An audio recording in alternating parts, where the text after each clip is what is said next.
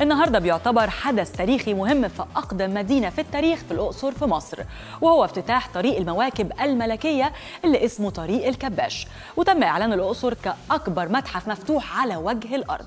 وطبعا الحدث الأسطوري ده بقت أخباره viral على ال social media و hashtag طريق الكباش بقى ترند على تويتر. وشفنا كمان صورة مبهرة من مكان الحفل والتماثيل الفرعونية الضخمة والمراكب المصممة بالطراز الفرعوني. يعني بصراحة حدث مبهر.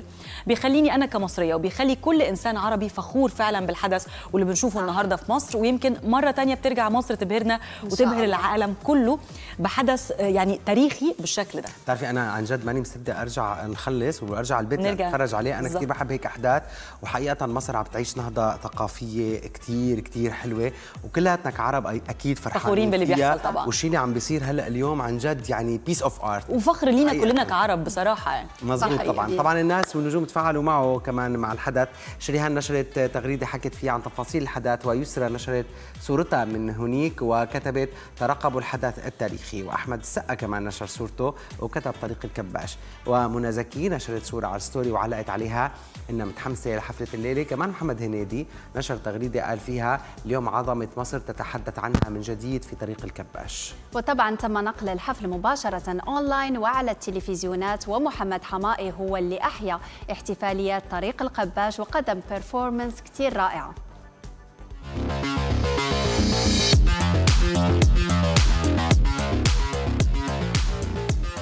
بكرة الجمعة 26 نوفمبر الجمهور بدبي على موعد مع محمد حماقي بحفلة كبيرة بيحييها على مسرح منصة اليوبيل بإكسبو 2020 في دبي الساعة 10 المساء.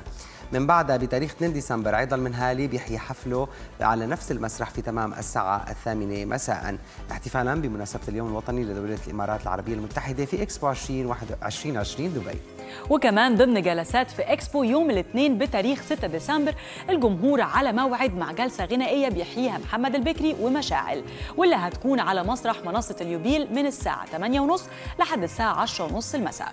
وبعديها بتاريخ 16 ديسمبر كمان على نفس المسرح بيحيي عبد الله بالخير حفلته اللي بتبدأ الساعة 8:30 أما البارح كمان في إكسبو 2020 دبي أحيا عبد الله رويشد حفلة رائعة على مسرح منصة اليوبيل.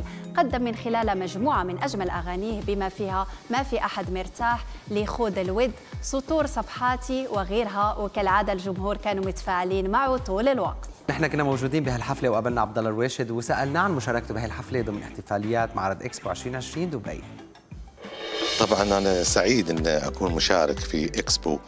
هذا آه، يعني شرف عظيم إكسبو 2020 آه، شيء الواحد يفخر فيه شيء واحد يعني يشوف نفسه آه، عالمي وهذا الصرح العالمي. فإن شاء الله نقدم حفلة مميزة بتكون إن شاء الله. إن شاء الله أكيد. وغير كده كمان سألناه إذا ممكن نشوف ديو بينه وبين أحلام.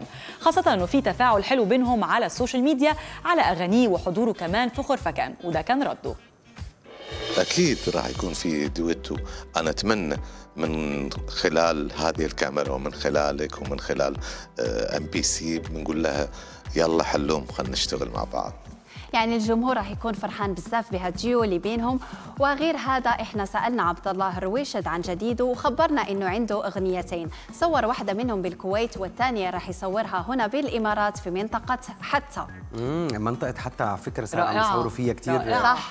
صح آه آه كثير كليبات ما بدي أقول يعني مين صور من فترة لا قول لنا عايز أعرف لا لا لحظة لحظة لحظة يا أمجد بعد اذنك بيزعل عايز أعرف بيزعل أنت. بتروح أوردرات كتيرة من لا لا ما رحت. ال order بس عرفت إيه؟ إنه كان عم بيصور okay آه، مين؟ okay نادر نادر الأتات هلا بدنا نعرف. نادر نادر الأتات كان عم بيصور بمنطقه حتا بس حرام بتعرفي قلت له أنت موجود ب- بالإمارات وما قلت لي قام قال لي والله خجلت قال لك اطلع على حتا بس عايزه أقول لك. الطلعه على حتا قد إيه رائعة. رائعه. المنطقة هناك يا صوفيا حلوة جدا الجبال الأوتيلات الطبيعة البحر أنت طالعة على حتا؟